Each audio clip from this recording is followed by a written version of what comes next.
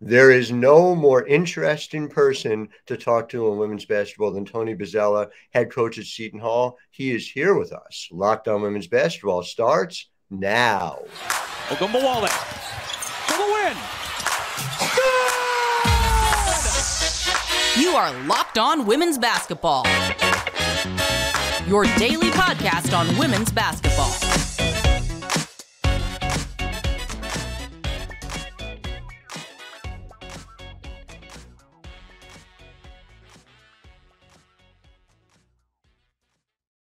Well, hi there, everyone, and welcome to Locked On Women's Basketball. I'm your host, Howard Megdal, reminding you to always make sure you're subscribing to us and make your, us your first listen every day. Um, it's not just me, of course, it's the great staff over at thenexthoops.com. We bring you women's basketball podcast six days a week, and of course, over a 100 reported pieces every single month. So make sure you subscribe $9 a month, $72 a year very important to support the women's basketball media that we all know we want. And so, my conversation today, I, I mean, I've been looking forward to this for the last couple weeks.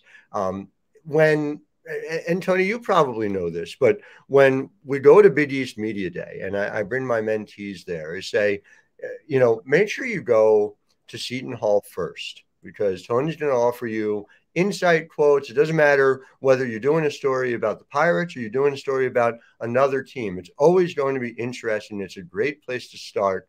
Um, and I guess the thing I'd ask you, because you obviously are very conscious of women's basketball media coverage and it's something that you follow very closely, is just how much of that is just part of your desire to help grow that aspect of women's basketball, which is something you've been part of growing, you know, your professional life.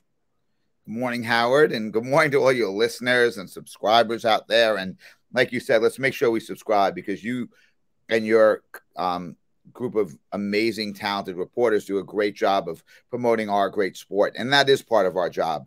If we don't think that's part of our job as head coaches, then we're really missing the beat on this. Our job mm-hmm. is to promote women's basketball.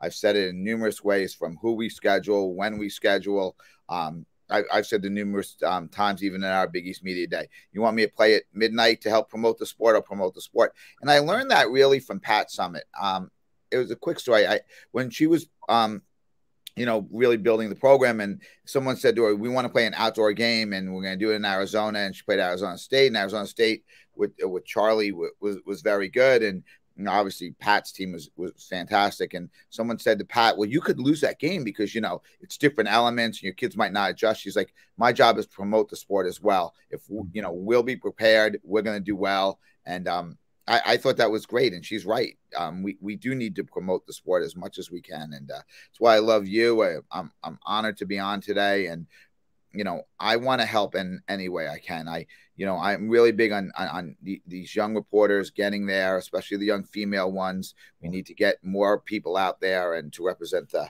women's basketball and, and all types of female sports.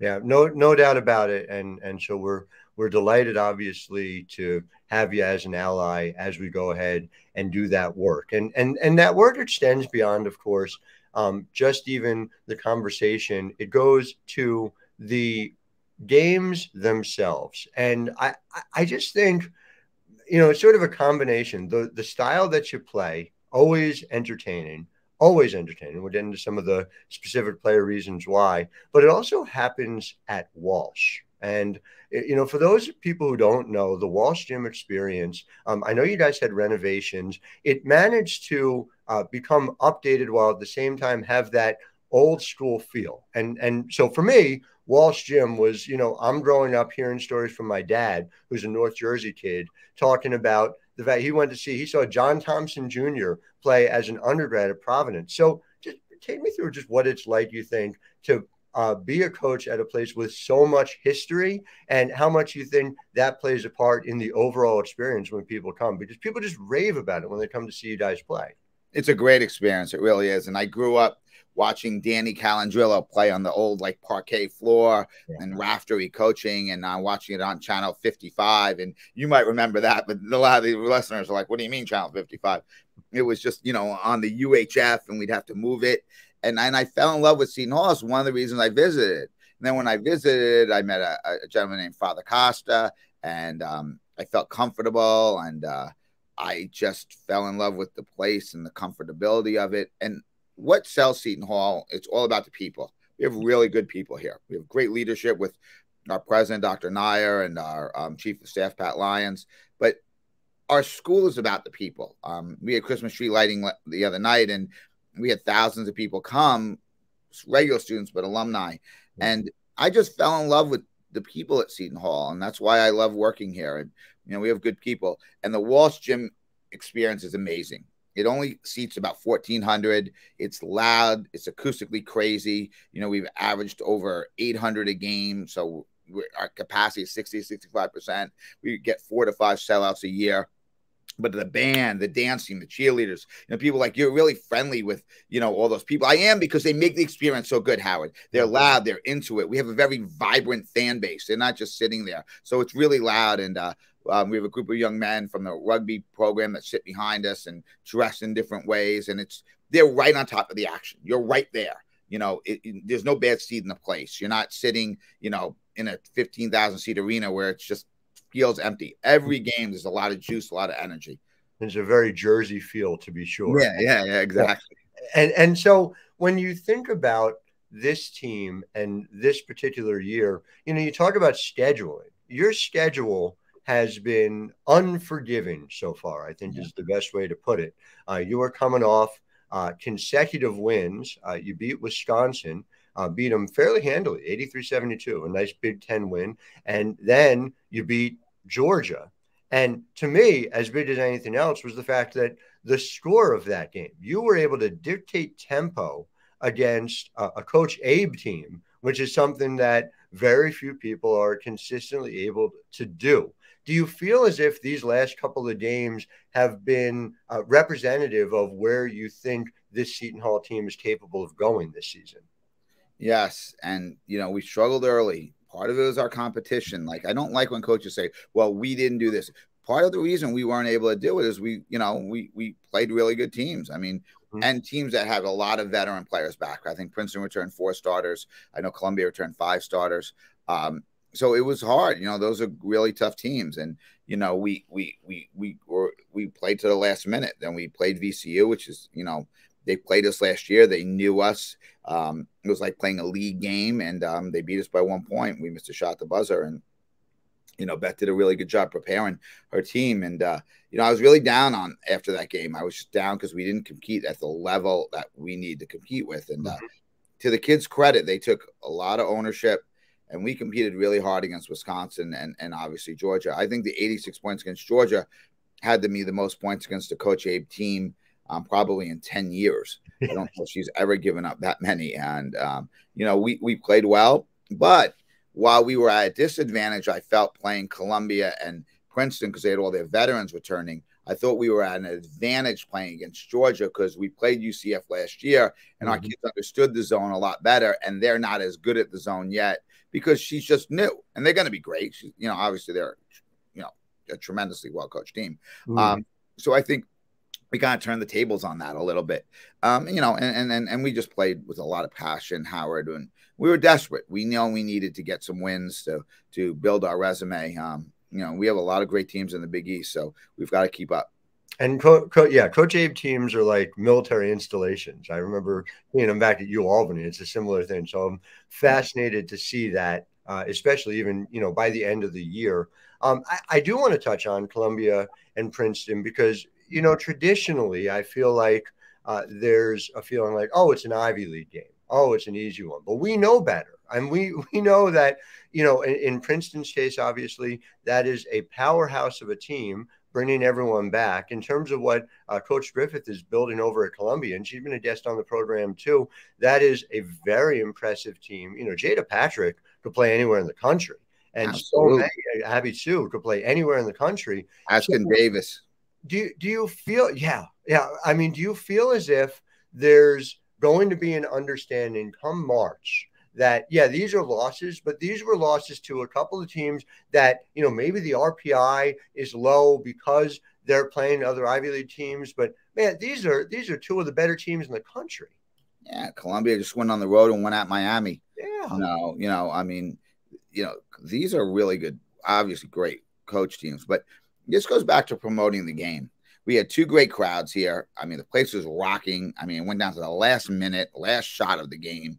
Um, but we were able to get great crowds too because they brought fans. And when we went to Columbia, we brought fans last year. When we go to Princeton, we bring fans. So we want to promote the sport. We've gotten Rutgers back on the schedule, which was very mm-hmm. important. Coach Yeah. Stringer, before she left, got us back on. And I thought that was really important as well because while Rutgers isn't you know, as talented as they've been in the past. They played really hard, and you know, Coquese is going to get them going. So now that we can still play, I feel the top three local teams in, in Princeton, Columbia, and Rutgers. I think that's great for the sport and build it up and and make it exciting. Uh, you know, you know, one day I'm gonna t- I'm gonna talk to you know you know um, the coaches and maybe we just do a, a 14 tournament one day and really promote it one year and uh, you know and and have the four of us, which are the four top local teams, play each other and and that would be exciting as well too. Um, I would love to see. I'd love to see. There needs to be a trophy comparable to the one on the men's side between Seton Hall and Rutgers, where the wood is made from a boardwalk Yeah. uh, from the Jersey Shore. I think. I think we definitely need an equivalent of that. Maybe. Maybe the trophy, the winner gets Town Hall Deli. Ah, Town Hall Deli. I mean, we, we, we can't get much better than that. I mean, uh, those of you who have not tried Town Hall Deli, when you come up for a Seton Hall game, it's important that you stop by and and get and get and get some of their great sandwiches they have They, there. they they are not a sponsor of the program. They're a sponsor of my heart, and I love Town Hall Deli. That's why I tell everyone who's. I said, go down, get a Town Hall Deli sandwich, go cover a game at Walsh. Like that is the ideal evening, as near as I can tell. So wait, I want to talk more about that. I want to talk more about Jersey in general because you brought up Rutgers, and um, and, I think it's an important context for people. But first, I do want to talk about our title sponsor today, which is Sweatblock.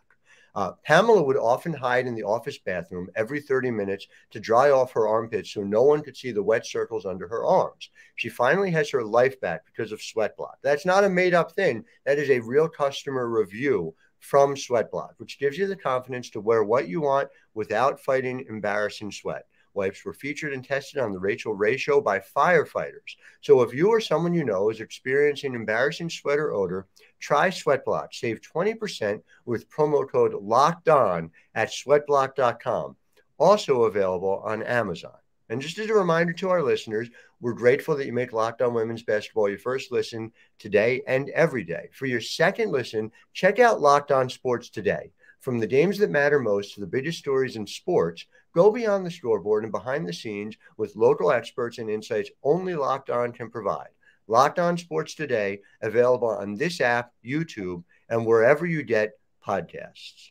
So, in terms of Rutgers and in terms of what they mean to the overall state, you know, I agree with you. Coquese is going to figure it out. You know, she's going to have eventually a roster that has more than eight players, and look out because that's going to be allowing her to play the type of team that she wants to play. How important, though, NJ.com had this uh, extended conversation about Rutgers being in the Big Ten and Seton Hall being in the Big East. I'm honestly, as a Jersey guy, trying to get my mind around it. It feels to me like Rutgers and Seton Hall really ought to be conference rivals. But how much do you feel like you guys kind of help define each other as the two signature programs here in the state?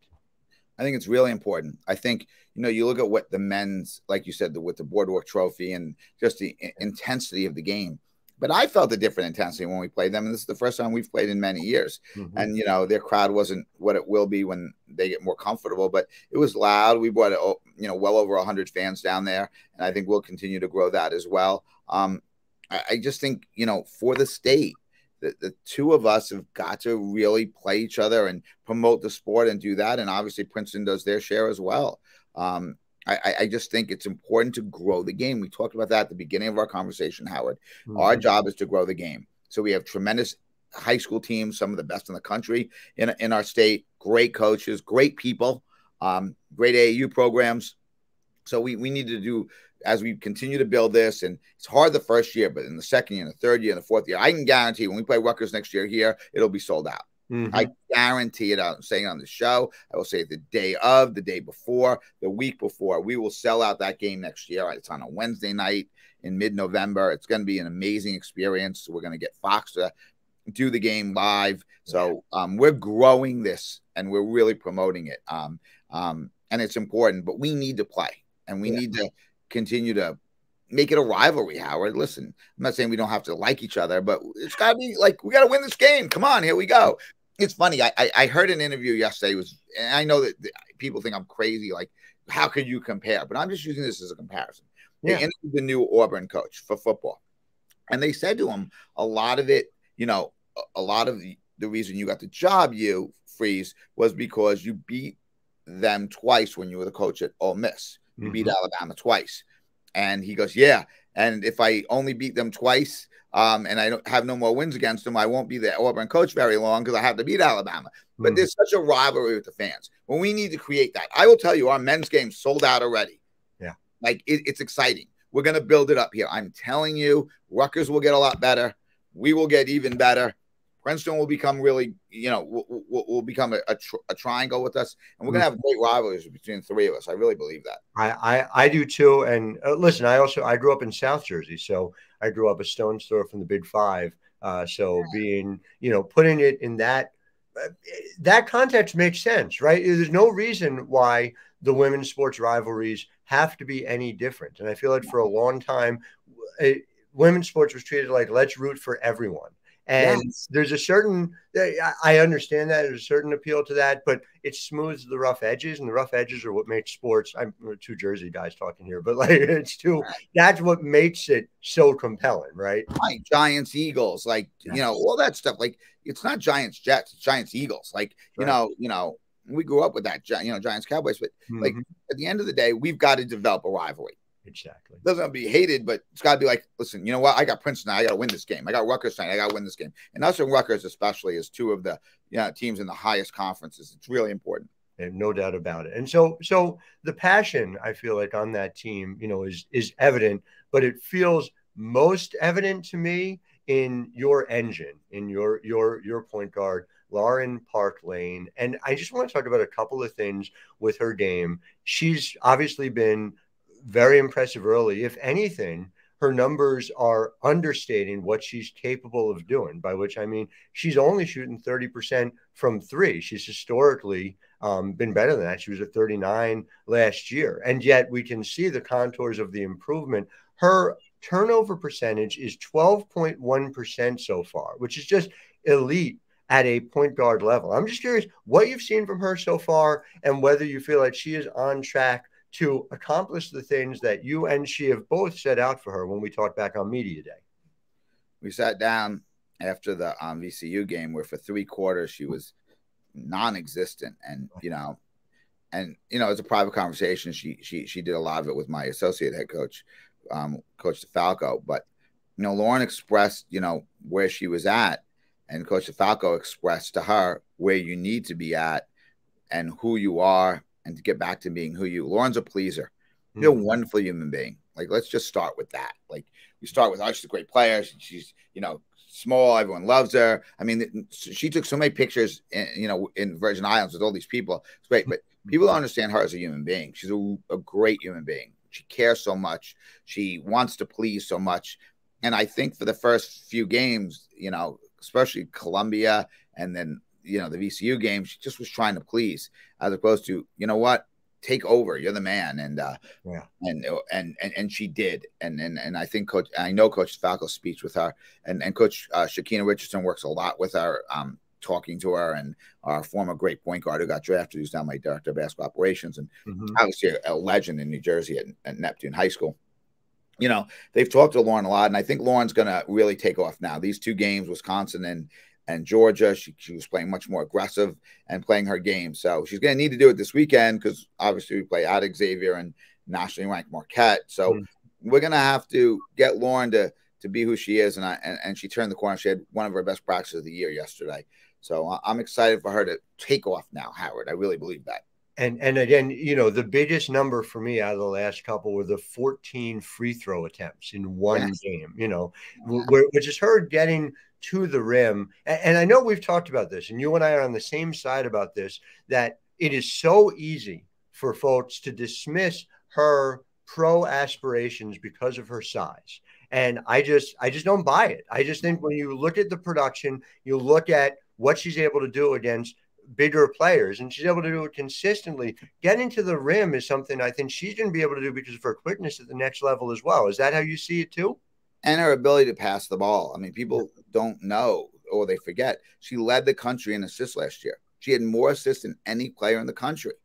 Just she's a tremendous passer, and you know she reminds me a lot of, uh, of Aari McDonald who played at Arizona, who was a mm-hmm. kid. Now, what Aari did was she her body became really strong, and Lauren's worked really hard in the weight room this year, so she's getting stronger. And we've had numerous scouts at our game so far, and Lauren knows what she has to improve on and stuff like that.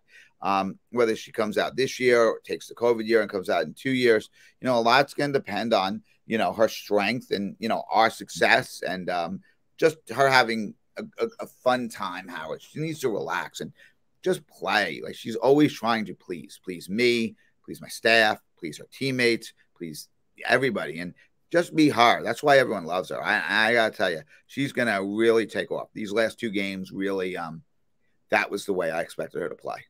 And then she's joined in the backcourt by that transfer, Shaylin Hagens, who has so far been, to my mind, as advertised. She's been crazy efficient from the field. She's north of 50% from three already.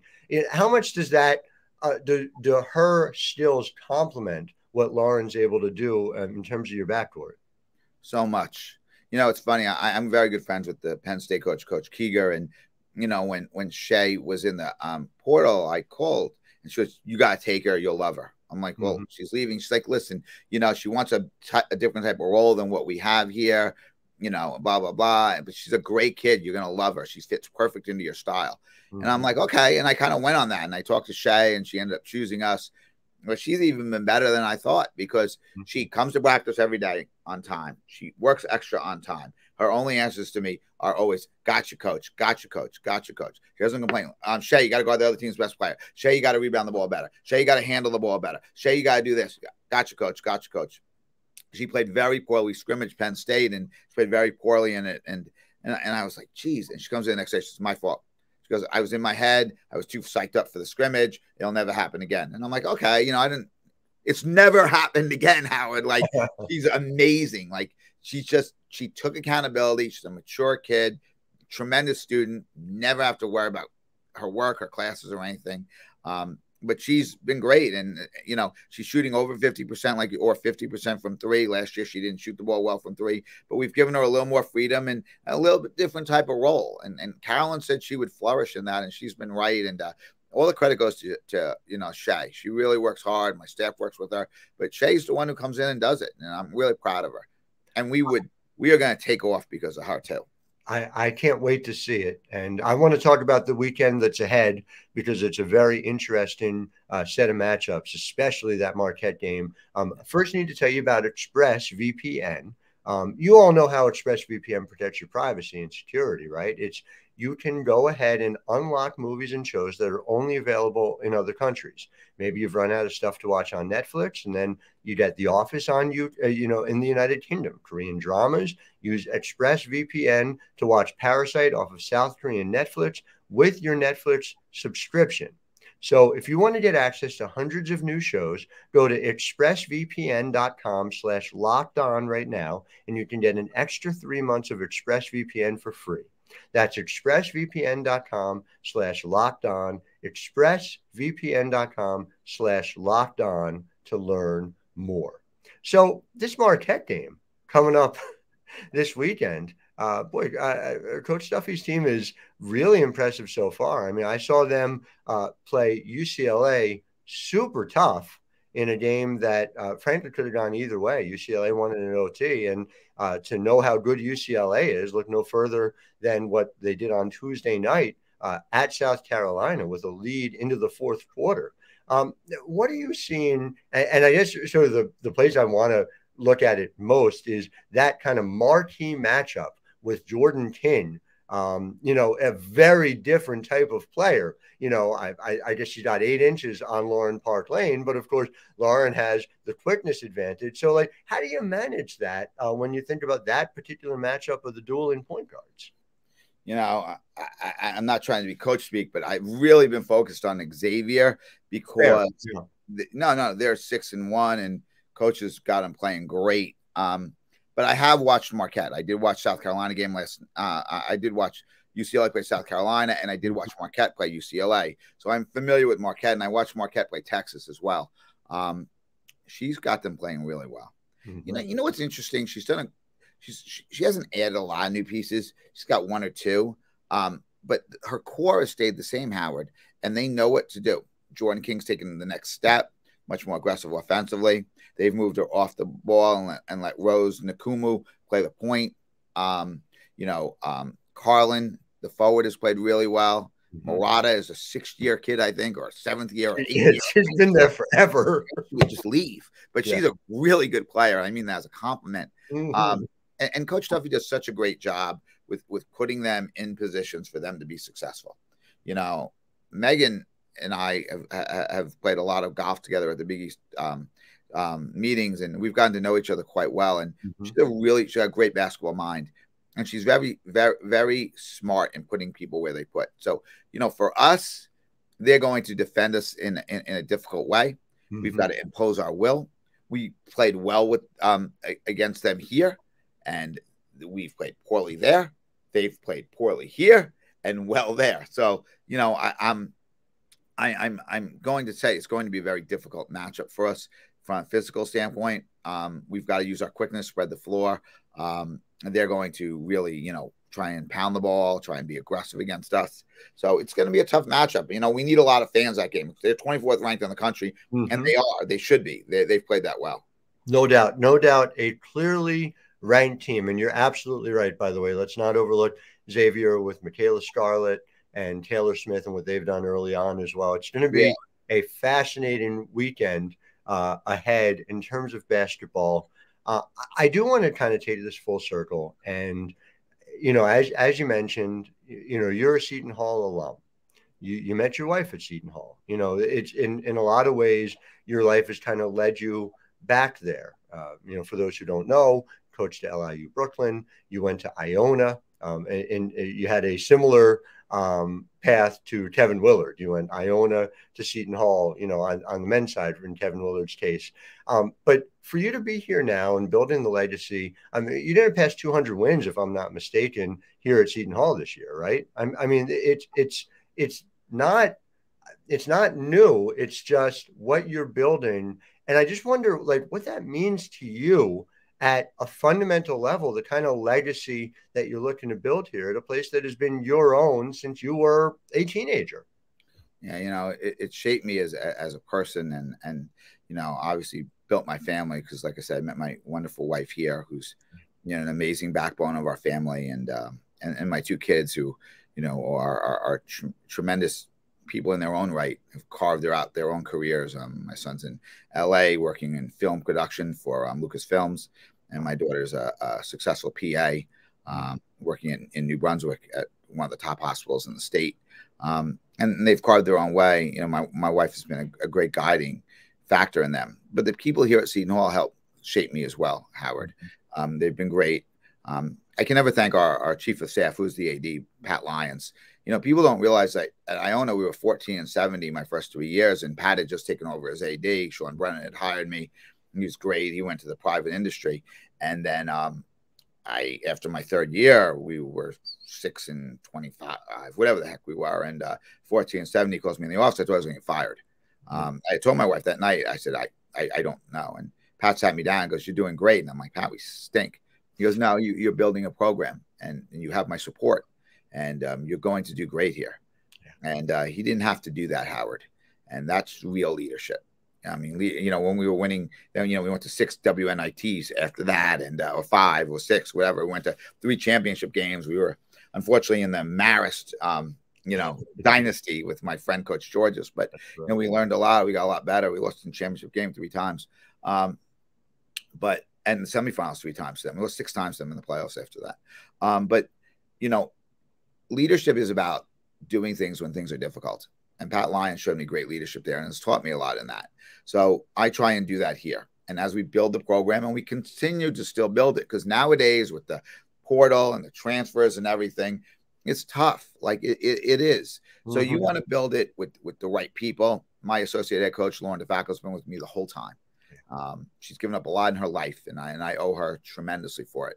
Um, Jose Ribbonbos um, played here. He believe, believes in Seton Hall. Um, Coach Stanella has been with me a long time here, and he's been a friend. And uh, you know, and obviously getting Shakina back. She was a great player here. But we had Dee Dee here too, who's now the top assistant at St. Bonaventure. So I, have surrounded myself with some really good people. Um, but Howard, like, not to make this question long, but it's hard to build it. But it's people like Lauren Park Lane, Sidney Cooks, you know, these kids, Andra Espinoza Hunter, who helped me recruit Sidney Cooks, Lauren mm-hmm. Park Lane, who helps me recruit Shay Hagans and Kae Satterfield and Azana Baines and Shay Pinkney and all these other great players that we have here. You know, Maya Bembry, a local product.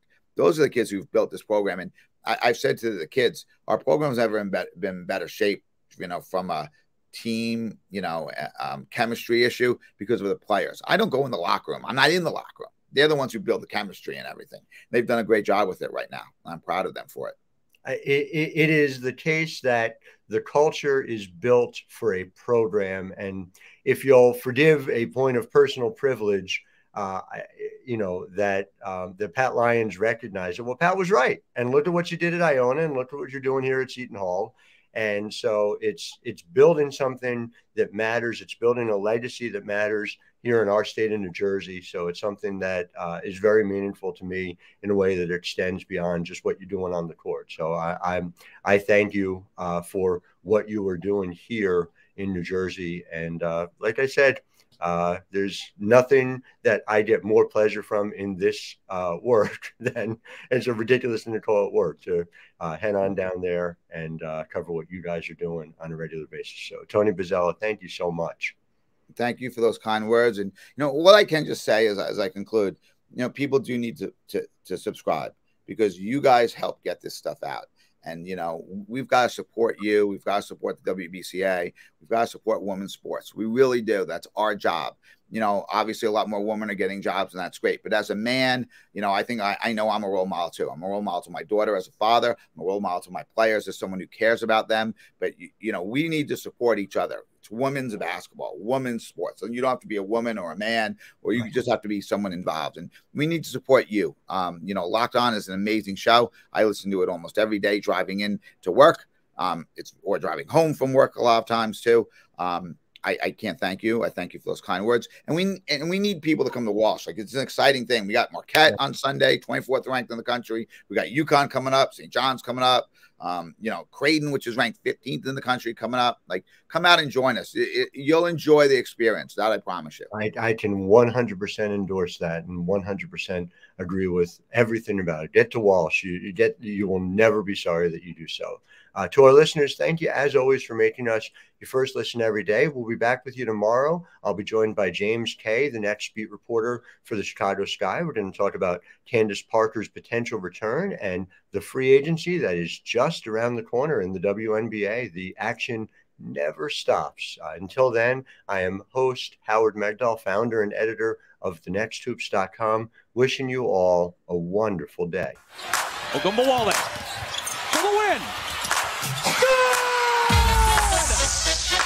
are Locked On Women's Basketball, your daily podcast on women's basketball.